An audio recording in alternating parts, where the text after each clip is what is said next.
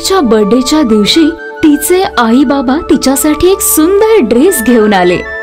संध्याकाळी घरात डेकोरेशन केलं. आता फक्त केक येण्याची वाट पाहत होते. मीनाचे आई बाबा मीनाला तिच्या मित्रमैत्रिणींसोबत ठेवून बाजारातून केक आणि समोसे आणायला जातात. मीना वाट बघत होती. पण तिचे आई बाबा कधीच परत आले नाहीत. त्या दोघांचा ऍक्सिडेंटमध्ये मृत्यू होतो. तुझे आई बाबा तर गेले. आणि त्या पोरीला आपल्या डोक्यावर ठेवून गेले. महागाई इतकी वाढली आहे, हिचा खर्च कोण करणार? मीनाला नाईलाजाने आपल्या काकूच्या घरी राहावं लागतं. तिची काकू तिचं कॉलेज बंद करते आणि तिला घर काम करायला घरात ठेवते. हे बघ मीना तुला या घरात सगळं काम करावं लागेल. याच्या बदल्यात तुला जेवण आणि झोपायला मिळेल. यापेक्षा जास्त मी काही नाही करू शकत. हो काकू मी मी काम करेन काकू. मीनाची काकू आणि तिची मुलगी स्वाती मिळून मीनाला खूप त्रास देत असतात. एक वर्षानंतर पुन्हा एकदा मीनाचा बर्थडे असतो आणि मीना आपला बर्थडेचा ड्रेस पकडून रडत झोपी जाते. दुसऱ्या दिवशी ती डोळे उघडते तर तो ड्रेस तिच्या हातात टोचत असतो. ती नीट पाहते तर काय? तो ड्रेस हिऱ्याचा बनलेला असतो. काकू मला काहीतरी दाखवायचंय तुला. मीनाच्या काकांचं मीनावर प्रेम तर होतं पण बायकोच्या भीतीमुळे काही बोलू शकत नव्हते. मीनाला त्या घरात फक्त त्यांचाच आधार होता. बाळा हे तर हिऱ्याचं आहे. पूर्ण ड्रेस हिऱ्यांचा आहे. हो पण मी आता काय करू याच? हा तुझ्या काकू पासून लपवून ठेव.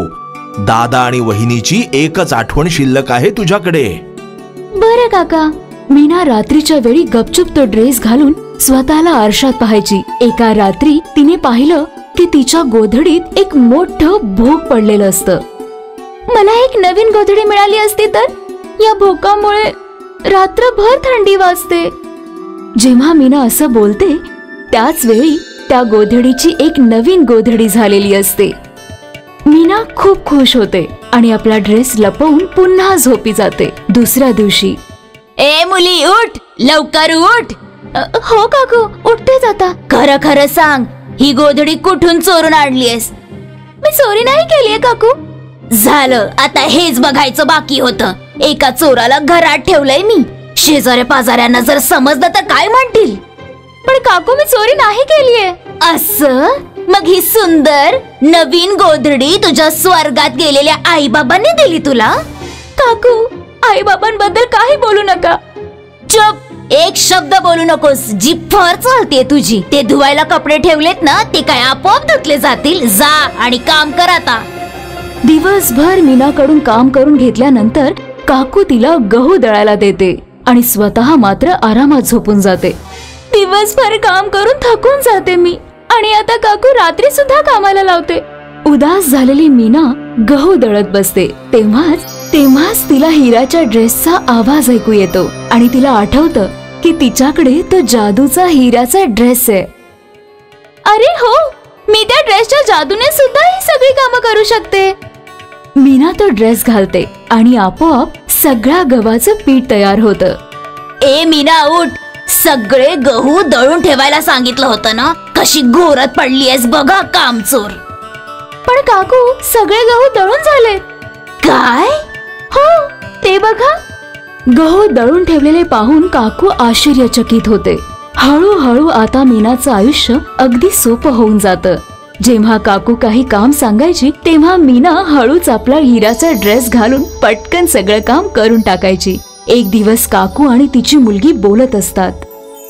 आई काहीतरी गडबड आहे. मीना इतकं सगळं काम इतकं पटकन कसं करते? हो माझ्याही लक्षात आलंय. काही दिवसांपासून खूप आनंदात असते ती. कितीही काम द्या तिला.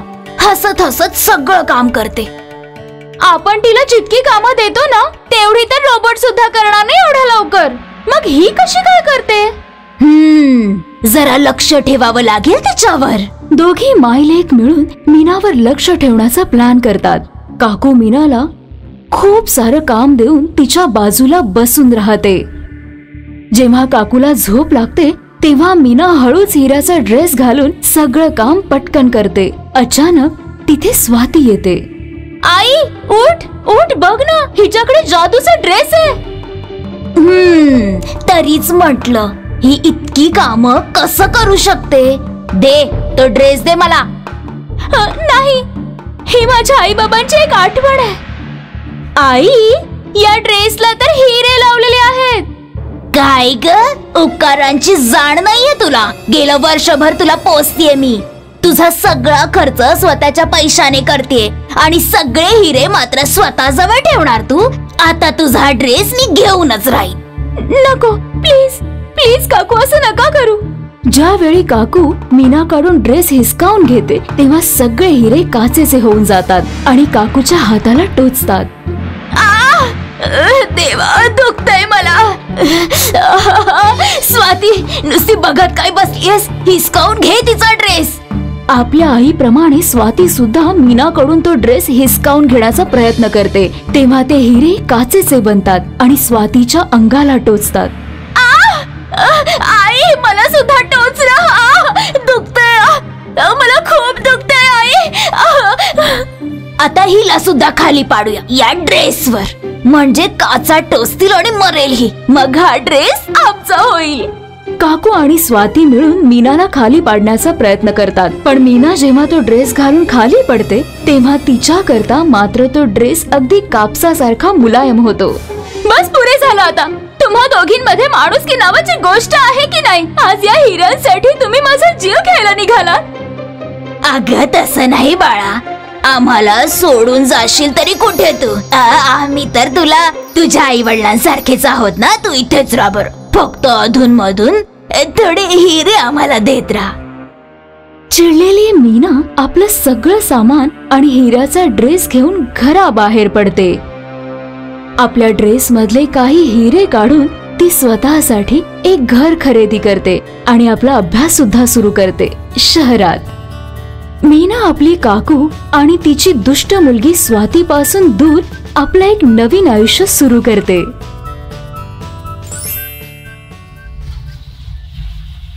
ही गोष्ट त्या काळातली आहे जेव्हा पृथ्वीवर राजा महाराजांचं राज्य होतं. श्रीलंकेमधील एका गरीब शेतकऱ्याच्या घरी एका मुलीचा जन्म झाला. तिची पावलं सोन्याची होती. आपल्या मुलीची पावलं सोन्याची आहेत. म्हणून तिचं नाव आपण परसोना असं ठेवू. पर्सोना जेव्हा मोठी झाली आणि चालू फिरू लागली तेव्हा तिच्या वडिलांच्या असं लक्षात आलं की पर्सोना आपल्या पायाने इतर धातूंच्या वस्तूला स्पर्श करेल. ती वस्तू सोन्याची बनते.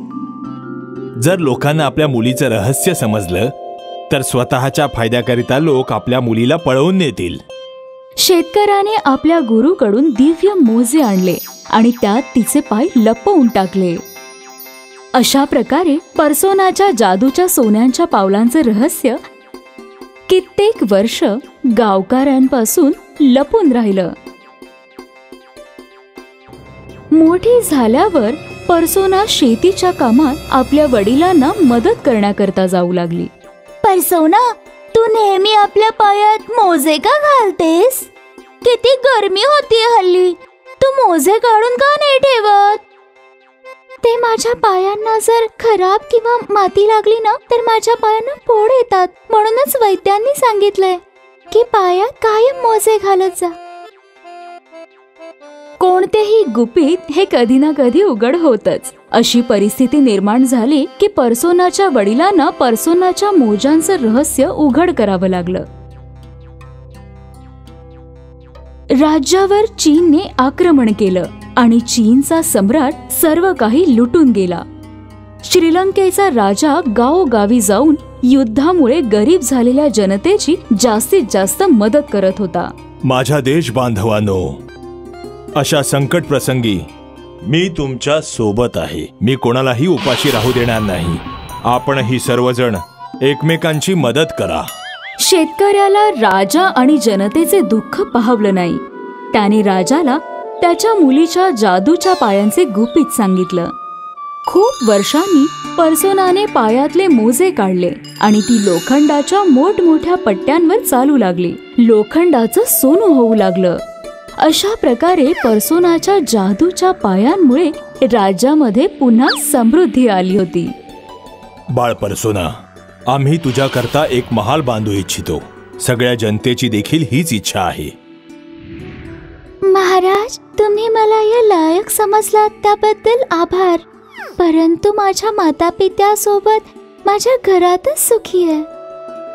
राजाची मुलगी जॅकलिन हिने जेव्हा पर्सोनाला इतका मान सन्मान मिळताना पाहिलं तेव्हा तिला खूप जळण झाली. राजकुमारी तर मी आहे परंतु सर्व सन्मान पर्सोनाला का मिळतोय? केवळ तिच्या पावलांमुळे? राजकुमारी जॅकलिनने प्रेतात्माच्या देवतेची पूजा करून काळ्या चटकणीला बोलवलं. चटकिणी? मी तुला तेरा बकरे खायला देईन. फक्त पर्सोनाच्या पावलांमधली जादू नष्ट करून टाक. तेरा बकरे. तुझं काम झालं समज राजकुमारी. पर्सोना एकदा आपल्या घरी झोपली होती. तेव्हा चेटकिणीने तिच्या पावलांवर मंतरलेलं काळं पाणी शिंपडलं. दुसऱ्या दिवशी जेव्हा पर्सोना उठली तेव्हा पाहिलं की तिचे पाय कोळशाचे झाले होते. बाबा माझ्या पावलांना काय झालं? असे काळे का पडले? पर्सोना आपल्या पावलांनी ज्या धातूच्या वस्तूला स्पर्श करत होती त्या सर्व कोळशाच्या होऊ लागल्या. पर्सोनाचे वडील तिला आपल्या गुरूंकडे घेऊन गेले. त्यांनी खूप वर्षांपूर्वी पर्सोना करता मोजे दिले होते. हे कुण्या दुष्ट चिडकिणीच्या जादूमुळे झालंय. तुला तुझी पावलं पुन्हा पूर्वीसारखी करायची असतील तर पौर्णिमेच्या रात्री कमळ फूल असलेल्या तलावात धुवावी लागतील. परसोनाने पौर्णिमेच्या रात्री कमल फूल उमललेल्या तलावात जेव्हा आपली पावलं धुतली तेव्हा पुन्हा तिची पावलं सोन्याची झाली. आणि पुन्हा एकदा तिच्या पावलांमध्ये ती जादू आली. राजकुमारी जॅकलिन हिने पुन्हा चटकणीला बोलवलं. चटकणी तुझ्या जादूचा काही परिणामच नाही झाला. परसोनाची पावलं तर पुन्हा सोन्याची झाली. चिंता करू नका राजकुमारी. यावेळी जादू पुढे पर्सोना काही करू शकणार नाही. एके रात्री जेव्हा पर्सोना झोपली होती तेव्हा चटकीने तिची पावलं कोळशाची केली आणि त्याच रात्री राज्यातील सर्व तलावांमध्ये मंतरलेलं पाणी शिंपडून सगळ्या कमल फुलांना नष्ट केलं. आता पर्सोना काय करते ना तेच बघते. दुसऱ्या दिवशी सकाळी जेव्हा पर्सोना उठली तेव्हा तिने पाहिलं की तिची पावलं पुन्हा कोळशाची झाली. हे काय? माझी पावलं पुन्हा कोळशाची झाली? पर्सोना पौर्णिमेच्या रात्री राज्यातील प्रत्येक तलावाजवळ गेली पण कोणत्याही तलावात कमळाची फुलच नव्हती. आता माझी पावलं कधीच पहिल्यासारखे होणार नाहीत का राजाचा मुलगा मेंडेस हा अनेक दिवसांपासून पर्सोनावर लक्ष ठेवून होता. त्याचं पर्सोनावर प्रेम होतं. दुसऱ्या दिवशी सकाळी एक कमळाचं फूल घेऊन मेंडेस पर्सोनाकडे येतो. पर्सोना खूप दिवसांपासून मला तुला एक गोष्ट सांगायची आहे की माझं तुझ्यावर प्रेम आहे. हे कमळाचं फूल तुला कुठे सापडलं? हे फूल तर मी तीन दिवसांपूर्वी तलावातून आणलं होतं. हे फूल मी एका पाण्याने भरलेल्या बादलीत ठेवलं होतं. म्हणूनच ते अजूनही ताजं आणि टवटवीत आहे. अन्यथा हे कोमेजून जाईल.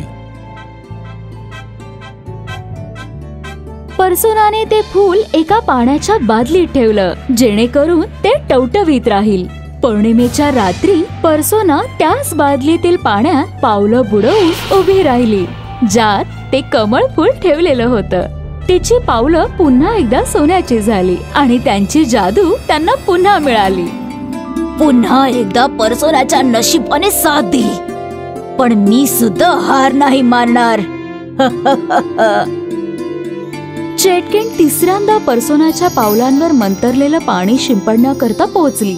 पण यावेळी गुरुजी तिथे उपस्थित होते. त्यांनी त्यांच्या कमंडलू मधून पाणी घेतलं आणि चटकिणीवर शिंपडलं. आणि चटकणीला भस्म करून टाकलं.